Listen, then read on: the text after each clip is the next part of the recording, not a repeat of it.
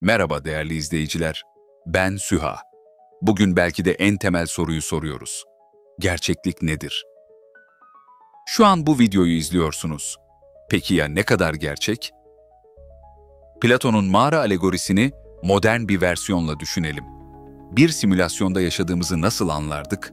Ya da daha da ileri gidelim. Anlayabilir miydik? Düşünün ki şu an beyniniz karanlık bir kafatasının içinde dış dünyayla hiç doğrudan teması olmadan duruyor. Gördüğünüz, duyduğunuz, hissettiğiniz her şey elektrokimyasal sinyallerin yorumlanmasından ibaret. Peki bu yorumlar ne kadar güvenilir? İşte size basit bir örnek. Aynı renk farklı görünüyor. Düz çizgiler eğri görünüyor. Durağan şekiller hareket ediyor gibi. Algımız bu kadar basitçe yanılabiliyorsa, daha karmaşık gerçeklik algımıza ne kadar güvenebiliriz? Beynimiz sürekli olarak gerçekliği tahmin ediyor. Örneğin gözleriniz sürekli titreşiyor ama beynimiz bunu düzeltiyor.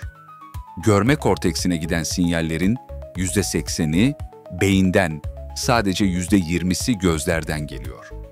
Yani gördüğümüz şey büyük oranda beynimizin tahmini. Kopenhag yorumuna göre kuantum seviyesinde gerçeklik gözlemlenene kadar belirsiz. Schrödinger'in kedisi hem ölü hem diri.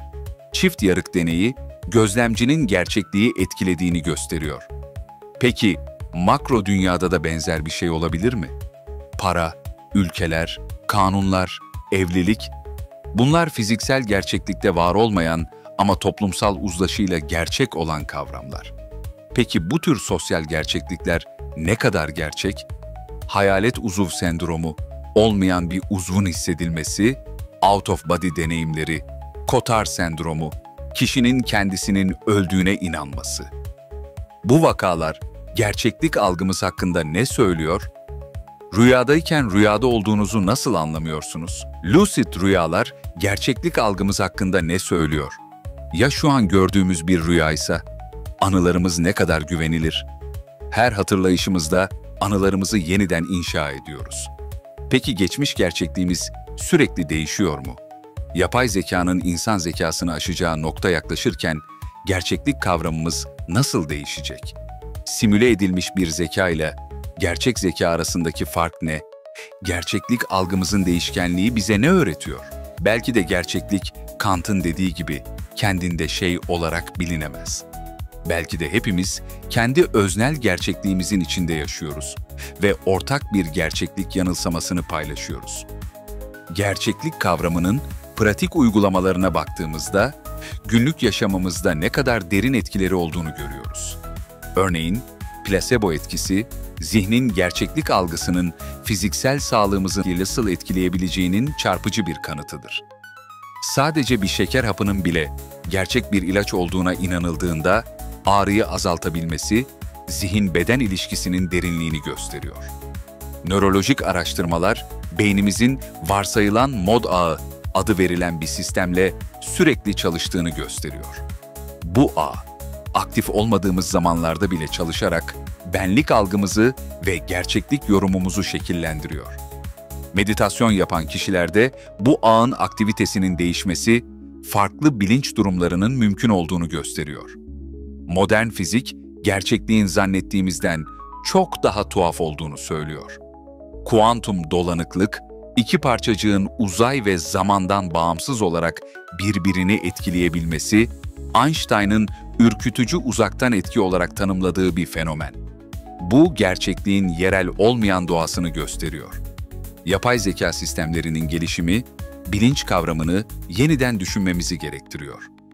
Bir makine ne zaman bilinçli sayılır? Turing testini geçmek yeterli mi? Ya da daha derin bir öz farkındalık mı gerekli? Bu sorular gerçeklik ve bilinç arasındaki ilişkiyi yeniden değerlendirmemizi sağlıyor. İnsan beyni saniyede 11 milyon bit bilgi alıyor ancak bunun sadece 50 bitini bilinçli olarak işleyebiliyor. Gerçekliğin büyük bir kısmını bilinçsizce filtreliyoruz. Bu filtreleme mekanizması hayatta kalmamız için gerekli olsa da aynı zamanda gerçekliğin büyük bir kısmını kaçırdığımızı da gösteriyor. Sosyal psikoloji araştırmaları kolektif gerçekliğin nasıl oluştuğunu gösteriyor. Aşin uyum deneyleri, grup baskısının bireysel gerçeklik algımızı nasıl değiştirebildiğini kanıtlıyor. bazen gördüğümüz açık bir gerçeği bile grup konsensüsü farklıysa yok sayabiliyoruz. Belki de gerçeklik bir spektrum gibidir. Katı fiziksel gerçeklikten sosyal konstruklara ve öznel deneyimlere uzanan geniş bir yelpaze. Bu spektrumun her noktası kendi bağlamında gerçektir. Sonuç olarak gerçeklik kavramı sandığımızdan çok daha karmaşık ve çok katmanlı. Fizik yasalarından toplumsal uzlaşılara, nörolojik süreçlerden kültürel kodlara kadar pek çok faktör gerçeklik algımızı şekillendiriyor. Belki de asıl soru gerçekliğin ne olduğu değil, onunla nasıl ilişki kurduğumuz ve bu ilişkinin bizi nasıl şekillendirdiği olmalı. Bu yolculukta kesin cevaplar bulamayabiliriz ama sorgulamaya devam etmek belki de gerçekliğin ta kendisidir. Çünkü Sokrates'in dediği gibi sorgulanmamış bir hayat yaşanmaya değmez.